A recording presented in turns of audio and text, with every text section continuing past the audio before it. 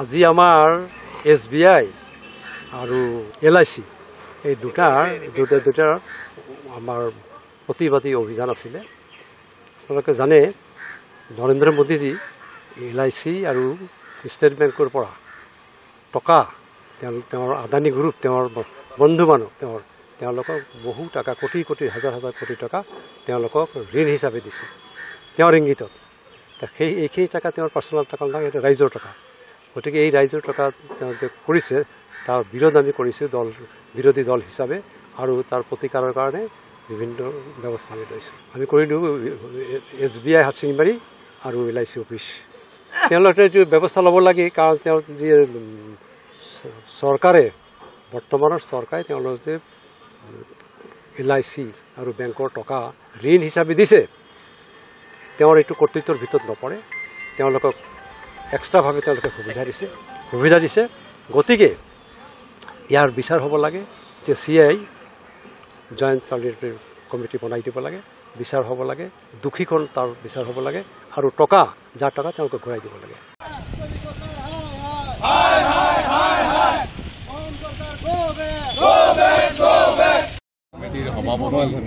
শ্ৰীযুত ভূপেন কুমাৰ বৰাদেৱৰ নিৰ্দেশ মৰ্মে দক্ষিণ শালমাৰা মানকাছৰ জিলা কংগ্ৰেছৰ পক্ষৰ পৰা আমি এল আই চি আৰু ষ্টেট বেংকসমূহত আমি এজিটেশ্যনেল কাৰ্যসূচী হাতত আপোনালোকে জানে যে আদানী গ্ৰুপক এল আই চি আৰু ষ্টেট বেংকৰ পৰা আমাৰ সাধাৰণ ৰাইজৰ ধন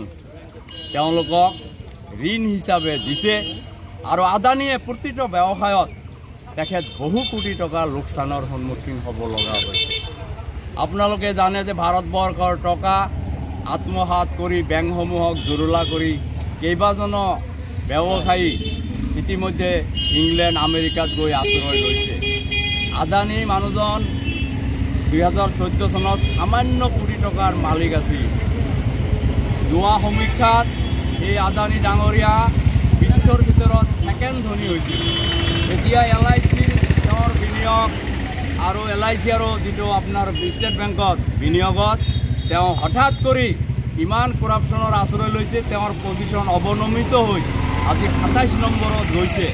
গতিকে আমি কেন্দ্ৰীয় চৰকাৰক আমি সতৰ্ক কৰিছোঁ যে আদানী গ্ৰুপক আদানী আপোনাৰ বন্ধু হওক আমাৰ দেশৰ সম্পদ এল আই চি আমাৰ ষ্টেট বেংক আমাৰ আমাৰ সম্পদসমূহক যিভাৱে আপুনি কংগ্ৰেছে কি কৰিলে বুলি সত্তৰ বছৰে আপুনি কয় কংগ্ৰেছে যিমান ভাৰতবৰ্ষত কৰিছে এই নয় বছৰে আপুনি অকল বিক্ৰী দেশৰ সম্পদসমূহ বিক্ৰী কৰি আছে।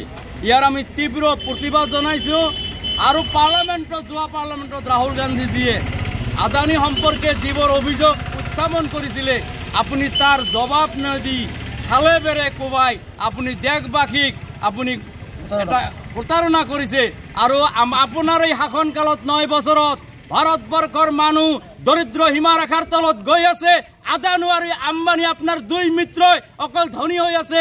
দেশ আজি ধ্বংসৰ পথত। অৰ্থনৈতিক ব্যৱস্থা আজি ধ্বংসৰ পথত। গতিকে আমি সমূহ জিলা কংগ্ৰেছ, আমি আজি সমবেত হৈছোঁ। আমি এল আই চিক মেনে মেমৰেণ্ডাম দিছোঁ যাতে ইলিগেল ফাণ্ডিং আদানী গ্ৰুপক কৰা নহয়। আমি ষ্টেট বেংককো দিছোঁ। আৰু এই চাগতে সমূহ সাংবাদিক বন্ধুসকলক ধন্যবাদ জনাইছোঁ। পুলিচ প্ৰশাসনক ধন্যবাদ জনাইছোঁ। সকলো স্তৰৰ কংগ্ৰেছ কৰ্মীক ধন্যবাদ জনাইছোঁ। আৰু শিৱাকাংক্ষী হিতাকাংক্ষী ৰাইজক ধন্যবাদ জনাইছোঁ। আৰু জইণ্ট পাৰ্লিমেণ্টাৰী কমিটি গঠন কৰি এই স্কামবিলাকৰ যিবিলাক মোদী ডাঙৰীয়া গলিমেৰ চোৰ হয় গলিমেৰ চোৰ হয় নৰেন্দ্ৰ মোদী চোৰ হয়। আপোনাৰ আপুনি যে চোৰ আপুনি পাৰ্লিমেণ্টত উত্তৰ দিব নোৱাৰে। আপুনি চালে বেৰে কোবাই।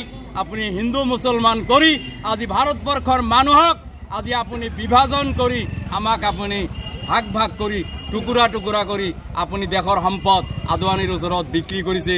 আদৱানী এটা কি হয় তেওঁক আপুনি পঁচানব্বৈ হাজাৰ কোটি টকা লোন দি আমাৰ দুখীয়াক দুখীয়া বনাই আছে। গতিকে এই কাৰ্যবিলাক বন্ধ কৰিব লাগে। আৰু হেমন্ত বিশ্ব শৰ্মা আপুনি ৰাজধৰ্ম পালন কৰক। আপুনি অসমত অকল হিন্দু মুছলমান নেদেখিব। আপুনি আমাৰ মাজত বিভেদ সৃষ্টি কৰি ভাই ভাইৰ মাজত কাজিয়া লগাই দি আপুনি এইবিলাক বন্ধ কৰক। অমিত শ্বাহ ডাঙৰীয়া আপুনি বন্ধ কৰক। লগতে এই চেগতে আপোনালোকক ধন্যবাদ জনাইছোঁ। জয়।